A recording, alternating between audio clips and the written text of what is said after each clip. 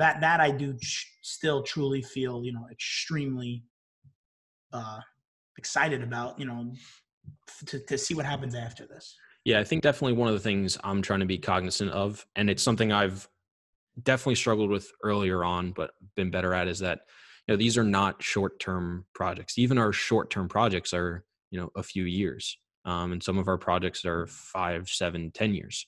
And it's you know everything I've seen and you know the way everybody's spoken is you know this is probably a few months. You know maybe it's two, maybe it's six, you know, obviously it's not going to be, you know, back right up to where it was like a snap of a finger. It's going to take some time, but, you know, it's jobs stop because people can't physically go to work. It's not like the economy tanked or something happened where people truly lost income. It almost feels like a halt rather than a stop or a shortage. Yeah. So, and look, I'm sure there's jobs that are not going to just bounce right back, right? Like the the cook at McDonald's job's probably going to be there when they're allowed to open up doors again and people are starting to come back in. Will they need as many workers day one? Probably not, right? Because people are going to be more wary to come out. But in three months after the quarantine is officially over, or whatever you want to call it, I'm sure it's going to be back to business as usual. So I do think there's going to be a somewhat, in the big picture, grand scheme of things, a pretty quick rebound. It's going to be more of a, a V than a you know a check mark where it's going to take time to kind of pop back up.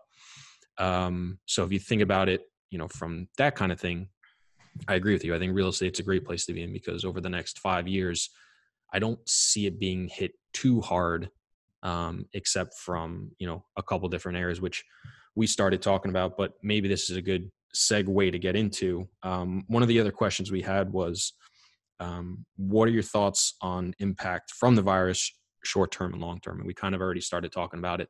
Obviously, just from a real estate perspective. Um, but what's some of the stuff you see short term besides collections? Because we just talked about that and people being able to pay. What do you see short term? And then what do you see, you know, let's say inside the next year, we'll say short term. And then long term, anything over a year to, you know, five years or something like that. Yes, I think short term, you know, the 800 pound gorilla in the room, what happens April 1st? Uh, that by far to me is going to be the biggest telltale sign of you know, of what's to come. You know, if everyone stops paying rent, yeah, it's going to suck for April. It'll suck for May. It'll suck for June. But you know, Chris, you're 100 percent right. Um,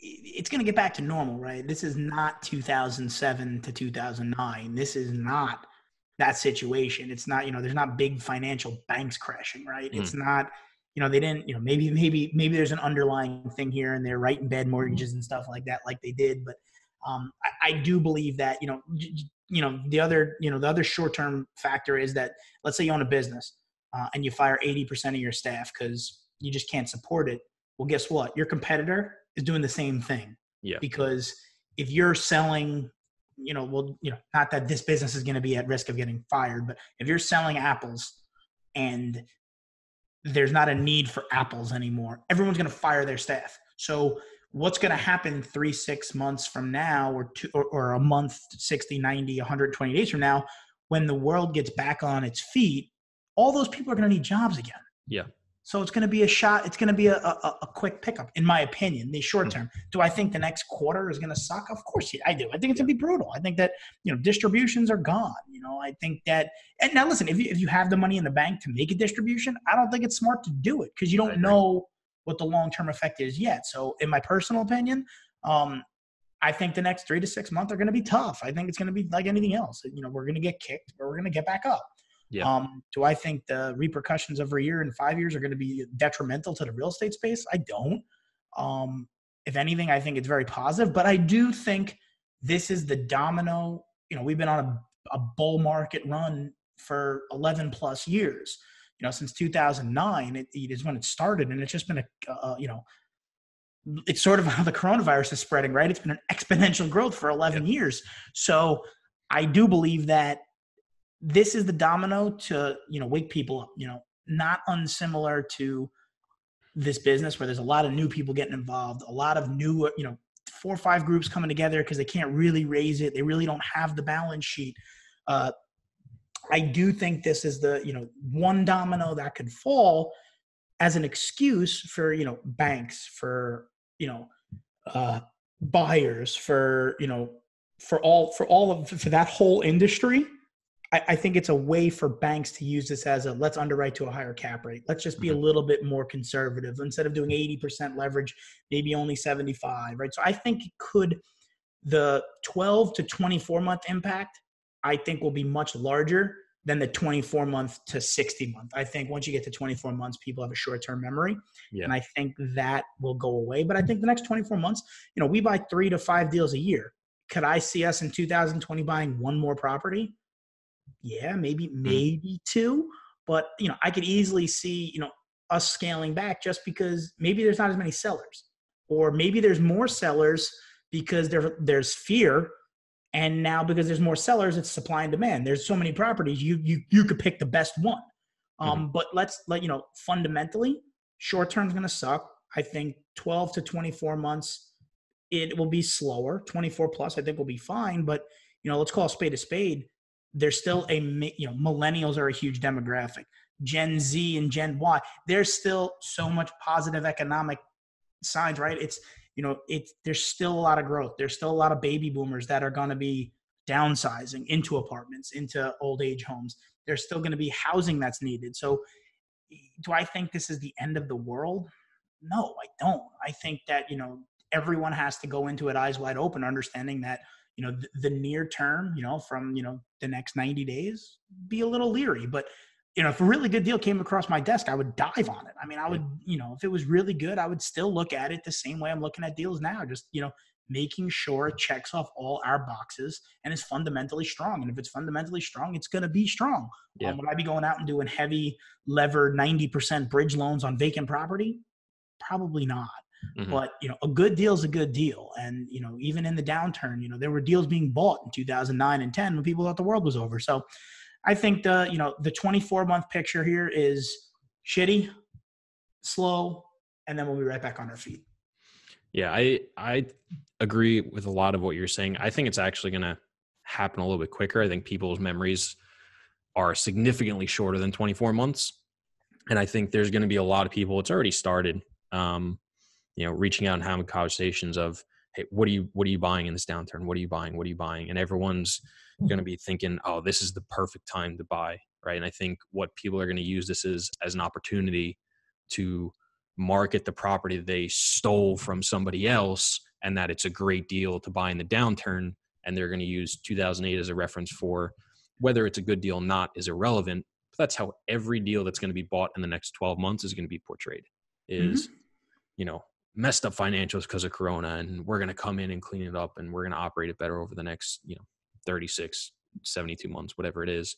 Um, so I'm really curious to see what you know buyers' expectations are going to be like and what sellers' expectations are going to be like, you know, in the next three to six months, because everybody's financials are going to be crazy. So it's going to be, you know, what is the debt even going to look like? You know, if you've got 20% bad debt, let's just say hypothetical, you know, you're not going to be able to get, you know, a five, you know, every deal you get underwritten, broker puts in, you know, market expenses, market occupancy, right? Can't throw market occupancy on there when it's 20% bad debt and expect to go get 75, 80% debt. You're going to get 60% debt because you're overpaying for it basically. So it'll be interesting to see how deals trade in the next, you know, six to 12 months um, and how bad it actually gets. Um, I do think though that we're going to move right back into where we were. You know, the last 12 months, I thought, you know, a lot of things were definitely overpriced and people were very aggressive on underwriting caps and underwriting vacancies and expenses and, you know, high leverage and stuff like that. I think we'll be right back there inside the next, not inside, but right at around 12 months. I think people are going to be like, oh that that wasn't that bad like if that's the worst that's going to happen you know we can get through anything or some you know some sort of bullshit like that so um, it'll be interesting to see how people change. I do think there'll be a stronger push though for going back to the deals where you go in, you take care of the deferred maintenance, and you just go five to 10 years and you try to hit a 12. You're not trying to hit a 25 IRR. You're not trying to hit a 10% cash flow. You're just going to come in, buy a quality product in a good area, not over leverage, like you said, 65 to 75% debt, and you're going to look to hit a really safe, solid return of a 12, which I think because of so many deals that have traded hands over the last two, three, four, five years that have been levered at 80% and people have hit ridiculous returns of 30s and 40s and 25s or whatever you want to call it.